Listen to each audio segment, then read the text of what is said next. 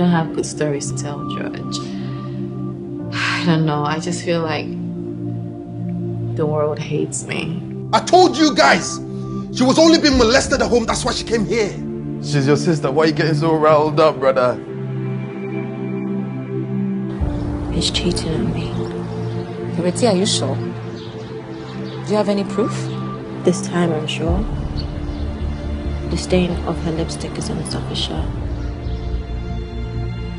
Yes, I'm married. I promise you. If you let me, I'll put endless smiles on your face again.